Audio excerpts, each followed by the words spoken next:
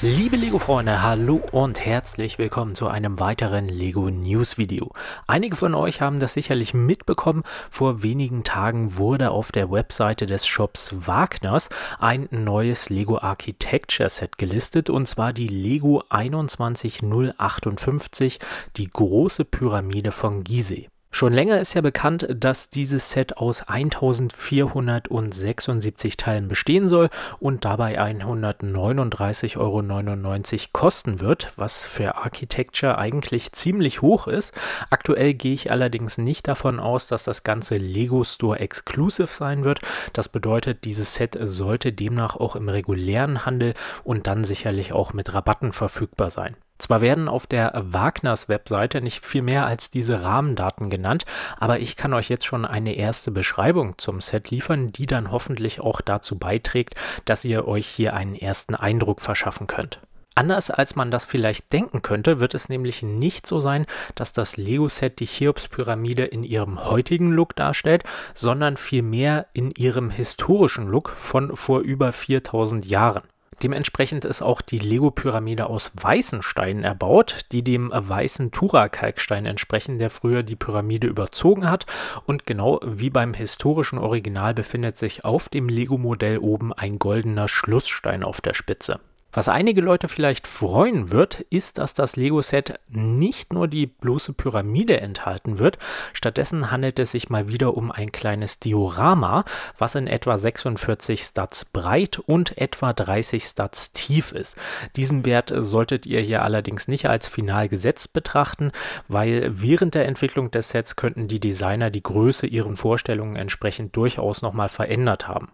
Umgeben ist das Diorama, wie wir das auch von anderen Architecture-Sets schon kennen, typisch mit einem schmalen schwarzen Rahmen, inklusive dann auch von bedruckter Namensfliese.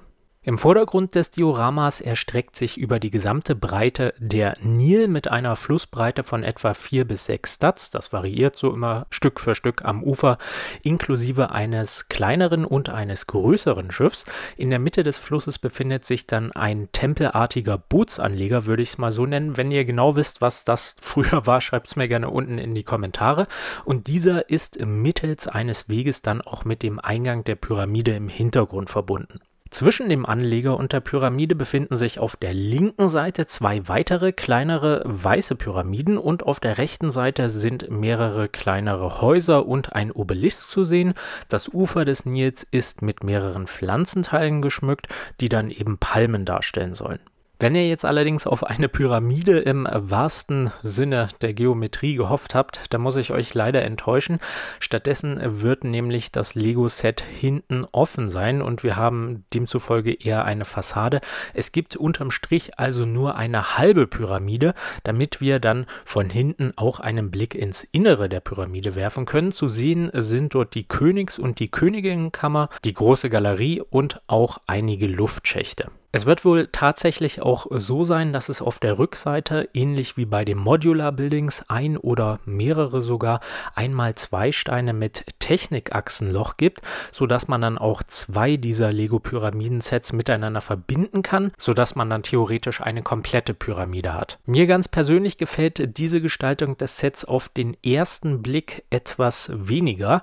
Zwar sagt mir die Idee zu, dass man hier auch das Innenleben der Cheops Pyramide darstellt, allerdings allerdings eben auf Kosten der hinteren Hälfte der Pyramide. Meiner Meinung nach wäre es hier ein leichtes gewesen, beispielsweise eine aufklappbare Pyramide zu designen oder vielleicht das Ganze so zu machen, dass man einen Teil der Außenwand hätte herausnehmen können. Der Idee, dass man hier zwei Sets kauft und die miteinander kombiniert, steht für mich ganz klar auch der Preis gegenüber. Schließlich sollen wir hier ja für die 1476 Teile ganze 140 Euro bezahlen. Das entspricht unterm Strich etwa etwas unter 10 Cent und das ist bei Architecture wirklich sehr hoch, vor allem wenn wir uns die größeren Sets der letzten Jahre angucken. Aber offenbar will Lego ja, dass man hier zwei Sets kauft, um eben eine komplette Pyramide zu haben, wofür man dann letztendlich 280 Euro bezahlen sollte. Blöd ist dann nur an dieser ganzen Sache, dass man auch das ganze Uferdiorama, was ja vor der Pyramide ist, doppelt hat und zwar dann nochmal auf der Rückseite der Pyramide, was so natürlich keinen Sinn mehr macht. Aber was haltet ihr denn von der Lego 21058, die große Pyramide von Gizeh? Schreibt mir gerne eure Meinung zu diesem ersten Eindruck vom Set unten in die Kommentare. Würde mich interessieren, was ihr davon haltet. Vielleicht findet ihr es ja cool, dass es, dass man zwei Sets kombinieren kann. Weiß ich nicht. Schreibt es mir gerne unten in die Kommentare. Wenn euch das Video gefallen hat, lasst mir gerne ein Like und ein Abo da. Ich bedanke mich jetzt recht herzlich fürs Zusehen und hoffe, ihr schaltet auch beim nächsten Mal wieder ein. Bis dahin und tschüss.